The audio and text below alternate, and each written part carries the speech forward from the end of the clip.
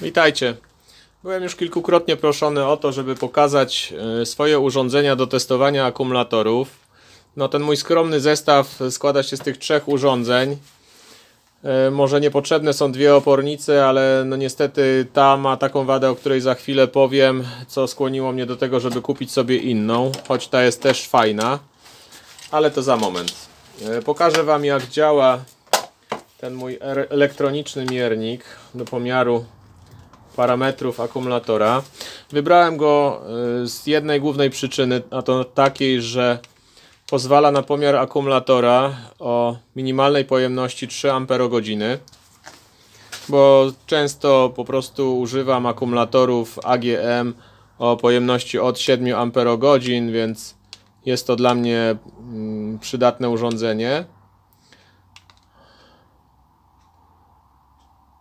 No i jak widzicie, tak wygląda pomiar i stan mojego akumulatora.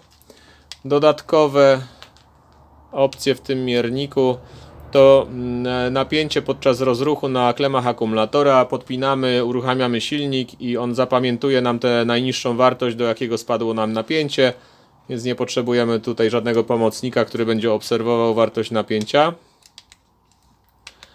Y, To jest napięcie podczas e, pracy silnika, podczas e, ładowania akumulatora również, gdy mamy włączone światła, jakieś tam inne obciążenia, które mamy w samochodzie. On e, odnotuje nam minimalną wartość tego napięcia, do jakiego nam spadnie podczas pracy silnika.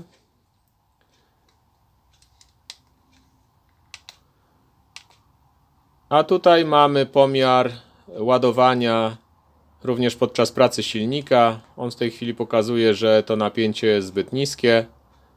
Napięcie pracy. No i to w zasadzie tyle, jeśli chodzi o ten miernik. Ta opornica kupiona w markecie obciąża akumulator prądem 120 A.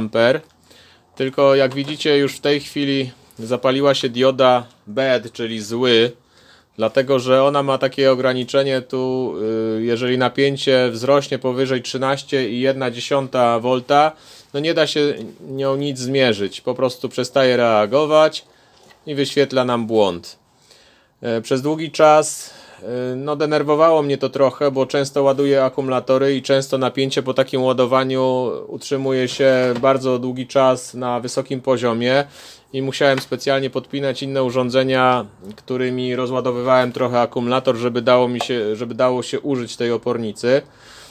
E, I w międzyczasie po prostu zaopatrzyłem się w te opornice, a później przyszło mi do głowy, że przecież mógłbym zrobić sobie tutaj dosk- do, dodatkowy przycisk, którym uruchamiam przekaźnik, którym wystarczy przez chwilę, tam kilka, kilkanaście sekund obciążyć taki akumulator. Trzeba odłączyć klemę, bo znowu wyskoczy błąd. No i mamy już możliwość pomierzenia tego akumulatora. E, Od razu po podpięciu jest przygotowane na prąd 500 A.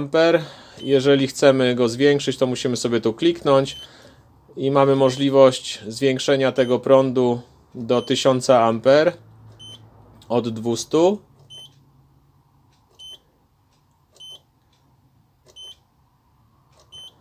No ustawiłem sobie tutaj 600, bo mój ma mniej więcej tam 640, więc ona już automatycznie się wyłączy i pokazuje stan akumulatora i napięcie na klemach akumulatora. No więc uznała, że akumulator jest sprawny. No i ta tańsza troszkę oporniczka, też fajna, bierze mniejszy prąd, bo e, 100 A, ale daje nam też bardzo szybki ogląd na sytuację, bo od razu widzimy tutaj w postaci wskaźnika na woltomierzu, do jakiej wartości spada nam napięcie na a, klemach akumulatora przy obciążeniu. Jest to bardzo szybki test, bez wybierania czegokolwiek. Jesteśmy tutaj szybko wzrokowo w stanie określić e, stan akumulatora i myślę, że to jest też bardzo fajne urządzenie. No i to jest na tyle, jeśli chodzi o takie dedykowane urządzenia do pomiaru akumulatorów. No i myślę, że na tym skończę ten krótki vlog. Dziękuję i pozdrawiam. Zapraszam do oglądania kolejnych moich filmów.